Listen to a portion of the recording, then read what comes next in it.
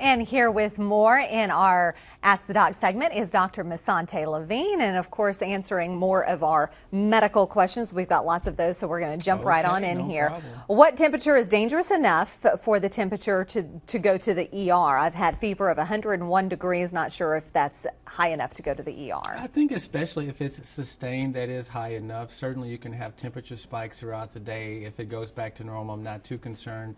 Most illnesses will have a sustained fever sustained temperature on that range, even up to 102, 103. That's typically indicates a significant infection, whether it be bladder or pneumonia or skin rash. Typically, it's going to be bacterial, and it kind of alerts itself to maybe the location. So patients normally will have symptoms with the fever, typically an easy diagnosis, but sometimes can be very challenging. Why does why does the temperature always seem to spike at about oh 458 when know. doctors' offices close? We wonder that as well. Yeah, conspiracy somewhere. I think so. Uh, this person says, "I'm pretty sure I have kidney stones. When do you know that it's time to go to the hospital? I'm going to the bathroom more than normal, and I'm doubled over in pain as well as being nauseated." Symptoms basically dictate that, and certainly if you're in a lot of pain, that is one symptom. High fever is another. Urinating a lot of blood just nausea, not feeling well.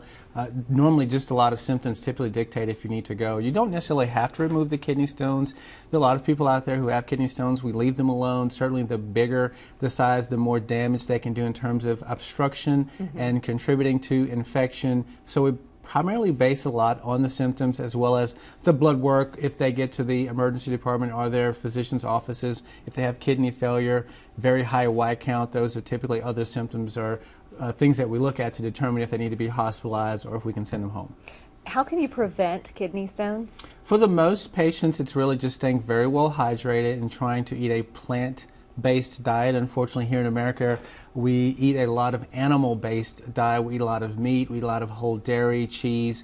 That tends to produce a lot of the kidney stones. We're not very well hydrated. Uh, we drink a lot of sugary beverages. So we kind of put ourselves at risk for the development of kidney stones. Uh, so staying well hydrated, healthy diet. Okay. Another person uh, has been getting lightheaded and dizzy and shaky, and after that, the back of their head hurts so bad that it scares them. What could be going on? You know, lightheadedness is a very non-specific symptom of so many different things. Certainly, if the symptoms persist, I would recommend an immediate evaluation. It could be anything from thyroid disease, severe anemia, dehydration. Mm it could be a stroke, it could be a brain tumor. I mean, so many different things. Normally, we have to do blood, x rays, a good physical exam. And despite that, sometimes we don't know even after that examination. But some common situations would be medications and some of the is issues that I mentioned. Okay. Uh, if someone is taking lithium and Zyprexa and runs out of the medicine, can it harm them? You know, those are medicines we use for typically bipolar disorder or schizophrenia, so certainly they can have an exacerbation of their illness if they stay out of those medicines for a long period of time. As we know, that disease a lot of times will create a lot of noncompliance, and a lot of patients will relapse just because they don't like the way they feel mm -hmm. and they run mm-hmm. out. So certainly it can create some problems. Okay. What are the side effects of immunosuppressants? Immunosuppressants mainly mean that your immuno, immune system is being suppressed. A lot of times that's from medications or other illnesses like diabetes or HIV or cancer. So normally you'll have infections primarily, uh, a lot of colds, a lot of infections of the skin, maybe frequent pneumonias or bacterial infections. Typically, the physician will become alerted to that if it seems to be a little bit more frequent, and we start asking questions, maybe doing some other blood work, x rays, to try and figure out why they are immunosuppressed. All right, we've got lots of other questions. We'll get to those in just a minute, yes, so don't go away. Dr. Levine will answer more of your questions next on Live at 5. We're back with Dr. Msonthi Levine to answer more of your medical questions. This is a 48 year old female, has a son that is 14. He has headaches only on the right side of his head. He's also nauseous, and the doctor says it is a tension headache. Could there be another cause, though? Yeah, absolutely. Headaches a lot of times are benign. Most of them are, uh, but we're always concerned about significant causes of headaches, such mm -hmm. as malignancy or aneurysms or bleeding, things Especially like that. Especially with this one being consolidated just to the right side of his head. Yeah, absolutely. So a lot of times we will do an x-ray just to kind of clear the air, maybe an MRI just to make sure, but most of the time they are benign. We do not need x-raying, but uh, just a concern that it could be something more malignant, we typically will do it first off anyway. Uh, certainly if there's symptoms to suggest maybe something else is going on, then we will do the CAT scan or the MRI first off, but typically we don't have those symptoms. Is there anything that will help a tension headache as far as over-the-counter medication? You know, low stress, but that's certainly hard to do. A lot of us are built differently emotionally and placed in certain positions. We may feel that stress or feel that tension and we can't manage it and will manifest as a headache. Over-the-counter anti-inflammatory medicines, Tylenol work very well. Diet is important. Good sleep is important. Those are always things to consider. Try to figure out what your triggers are. We talk about that a mm-hmm. lot on the show because a lot of times that can alleviate your symptoms, but there's a lot of good medication that can be prescribed to patients, so certainly work with your physician and try to figure out which one works best for you. Okay. An 84 year old male diagnosed, diagnosed with acid reflux and has had both an ultrasound and colonoscopy. No medicine prescribed seems to work anything that you can recommend? You know, it's like anything else. Sometimes you may have to uh, try six medications before that sixth one will work. So we kind of play the medicine shuffle all the time when it comes to that. And there's a lot of different acid reflux medications, prescription and over the counter. You might have to try a combination. Sometimes you need surgery, especially if you have a hiatal hernia. Uh, there's hmm. local surgeons here that perform that procedure. It could be something else.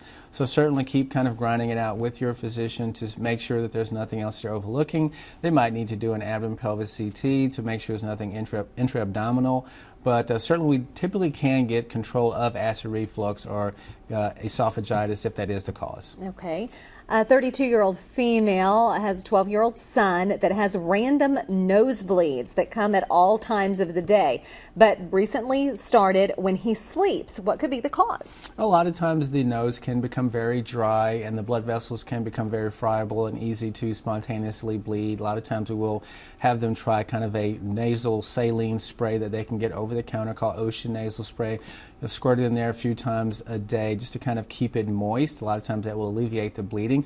But if not, they can typically go to the ear, nose, and throat doctor. They can cauterize those blood vessels that seem to be bleeding all the time, and that can alleviate that. And plus, we want to make sure there's nothing else in the nostrils polyps, tumors, etc., that can also bleed. So if it's persistent, certainly get a good evaluation. But we see this a lot, actually. Now, with the allergy season, could this be a cause? Well, if they're not sneezing or have any runny nose or watery eyes, Probably not, but possible. I mean, again, you can try the over-the-counter allergy medicine, Claritin, Zyrtec, as a trial before you go in to see the doctor. It may be alleviated, absolutely. Okay, a 24-year-old female, when she was 19, she started getting lightheaded for no apparent reason. Several times she's passed out while she's standing at work. Any idea what could be the cause? And you know, a lot of times we think of cardiac disease, and a 24 year old, kind of unlikely, but could be something congenital. Certainly, neurological issues can occur. Anxiety, stress, a lot of times can cause young females to become dizzy, but thyroid, anemia, whole host of things, almost similar to headache, need some x-rays, blood work to make sure nothing else is going on. So what type of doctors do you go to for that? Just a, a general practitioner? Yeah, certainly. Always start with your primary care physician or healthcare professional, let them do an evaluation, then if they cannot solve the mystery or they need further testing, they can be referred to the x-ray department or a subspecialist that does this all day long. All right, Dr. Levine, as always, we appreciate you stopping yes, by. And you can always visit our website and see the answers to these and other medical questions posted online. And if you'd like to have Dr. Levine answer your medical questions, you can always mail us at the address listed on your screen, faxes 892-7305, email us at laf at kfdm.com, post those questions every Monday on our KFDM News Facebook page.